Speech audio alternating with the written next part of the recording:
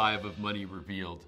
You know, we've been talking a lot in this series about investment, so I want to have an investment conversation with you. There's nowhere else on the planet where you can get this assembly of information that will talk to you about how to create wealth, how to protect wealth, and how to grow your wealth.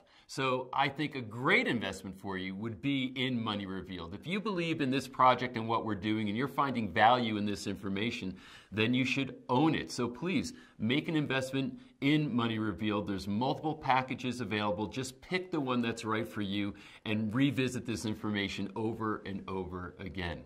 Now we have a great episode set up for you, so let's jump right into episode five of Money Revealed.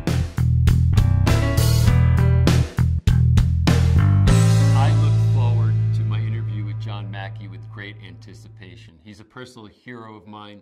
He's somebody I've admired for many, many, many years.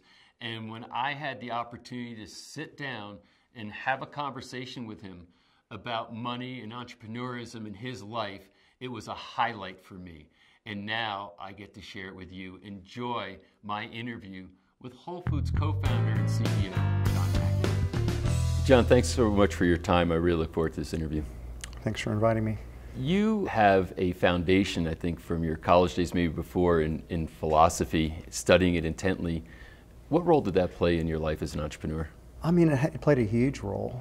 People oftentimes ask the question if you're studying philosophy, is like, what good is that for? Right. But philosophy really taught me how to think. Mm-hmm.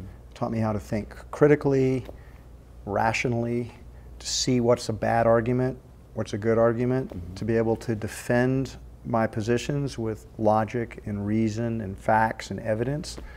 And so few people actually do that. Mm. And most people are just uh, go through life just being ruled by their emotions and they're unable to actually ever sort of um, get clarity. So philosophy helped me see more clearly. And if you're going to be in business, uh, deceiving yourself or fooling yourself is a very, very bad thing to do. You have to be able to see things clearly or you're not going to make good decisions. So absolutely foundational.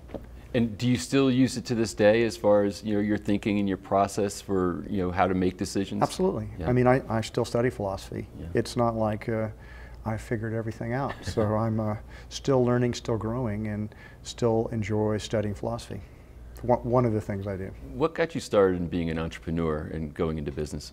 I mean, I wasn't, uh, I didn't self identify as an entrepreneur for a long time. I didn't set out to be an entrepreneur. I mean, I didn't study any business classes when I went to the university, University of Texas and Trinity in San Antonio. I kept going back and forth between those two. And I basically just took electives. I studied philosophy and world literature, the humanities of all kinds, psychology, anthropology. I was trying to figure out the meaning of life and meaning of my life in particular, what my own purpose was.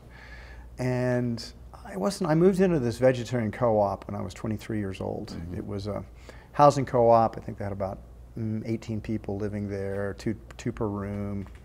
And it was, I wasn't a vegetarian at that time, but I actually just thought I'd meet a lot really interesting people in the right. vegetarian co-op, and I but I was interested in all things counterculture, and so there were, yeah, just a bunch of hippies living there, going to going to school, and I had a food awakening there, mm-hmm. where I I learned how to cook, I learned about natural foods, I learned about organic foods, and the more I learned, the more mm, passionate I got about it. Mm-hmm. So.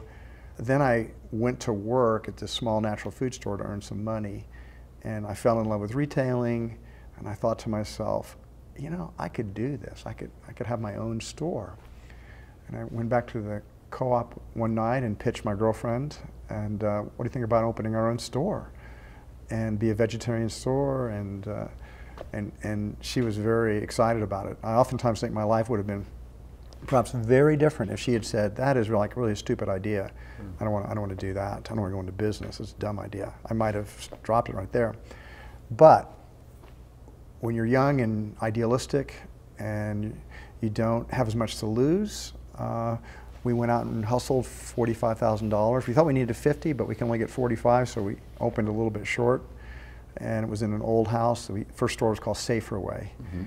And I was just passionate about selling healthy food to people. That people asked me what was the original purpose of Safer Way, and it was like, well, um, it was to sell healthy food to people, have fun, and earn a living. Right. And uh, we did all of those things. Renee and I actually moved out of the co-op and moved into the was in an old house where the first store was. So we lived on the first floor was a uh, store, and the second floor was a a cafe, a vegetarian cafe, and the third floor was an office, and where Renee and I had a futon, and we just slept there at night. So I literally lived in the first store. Wow. Uh, so I just kind of followed my heart, I followed my passion, and that led me on the journey. So I didn't, wasn't, you know, didn't like go to business school and say there's a huge market opportunity in this whole natural organic. I've done a study on it, and wow, we think it's going to be X amount of hundreds of millions or billions of dollars someday, and we want to get in on the ground floor. It was like, I'm interested in healthy natural foods. I like doing it, so we did it. And that's the interesting thing. You had no business school training, no business background. What made you think that you could open a retail store, you know, deal with inventory, suppliers, the whole thing? Or did you not know entirely what you were getting into? I mean, I think one of the advantages of being young mm -hmm. is not only do you have a lot of energy, uh, but you don't know what you can't do. Right. You don't yet know your limitations. And that enables the young to, we usually depend upon a lot of our breakthroughs with young people because they, they naturally think outside the box because they haven't never been in the box. And they naturally uh, just tend to be more creative and, and uh, you see many of the innovations that are happening in our society that shift things are done by people yeah, in their twen- in their 20s. Mm-hmm. I mean, in my generation, you know, how old was Bill Gates when he started Microsoft, or, or Steve Jobs when he started Apple, or Michael Dell when he was in his college dorm selling computers? I mean, or and now, you know, how old was Mark Zuckerberg when he started Facebook? I mean, it's story after story after story of very young people that just went for it and were successful. In line with that, uh, you know, skipping forward a minute, you know, I serendipitously ran into you at a Whole Foods in Park City, Utah, and I saw you talking to the young people who were the workers in the store. Mm-hmm. So you still, you know, and I don't think I wouldn't have known this, that you still show up at the stores. You talk to the people and the staff who are working there. You're interacting with them. What is the what's the motivation behind you doing that? I mean, it's it's a uh, it's one of the highest leverage things that I do, because rightly or wrongly, because I'm the co-founder and all the other founders left over 20 years ago, mm-hmm. and uh, and the CEO for 40 years. Uh, within Whole Foods, I'm a legend. Mm-hmm. And uh, with so many stores today, a lot of the team members, you'll never get a chance to meet me. So when I can tour stores and connect with the people, it really, we know it really raises the morale. Mm-hmm. And so I used to go into the stores and, you know, try to, I'd put my operations hat on and I'd see what was wrong with the store. But what I realized is I'm like the daddy, right? Mm-hmm. So they really want my approval. They don't want my criticism. Right. A lot of times they've gotten up at, you know, come to the store at three in the morning to make it look as absolutely perfect as they can because they know I'm coming. The last thing they want to hear is how they could be doing it better. Right.